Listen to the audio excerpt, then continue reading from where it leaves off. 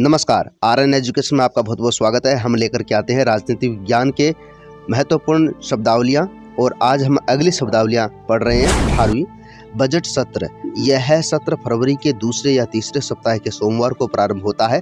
इसे बजट सत्र इसलिए कहते हैं कि इस सत्र में आगामी वित्तीय वर्ष का अनुमानित बजट प्रस्तुत, विचारित और पारित किया जाता है।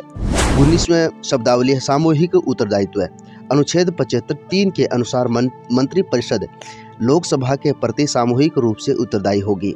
इसका अभिप्राय यह है कि इस अपने वह अपने पद पर तब तक बनी रह सकती है जब तक उसे निम्न सदनों अर्थात लोकसभा के बहुमत का समर्थन प्राप्त है।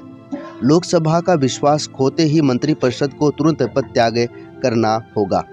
विश्व शब्दावली है कटौती प्रस्ताव। सत्ता पक्ष द्वारा सदन की स्वीकृति के लिए प्रस्तुत अनुदान की मांगों में से, अनुदानों के मांगों में से किसी भी प्रकार की कटौती के लिए विपक्ष द्वारा रखे गए प्रस्ताव को कटौती प्रस्ताव कहा जाता है।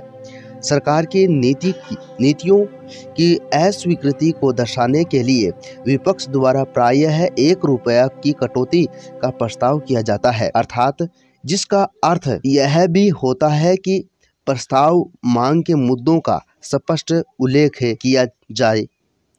धन्यवाद।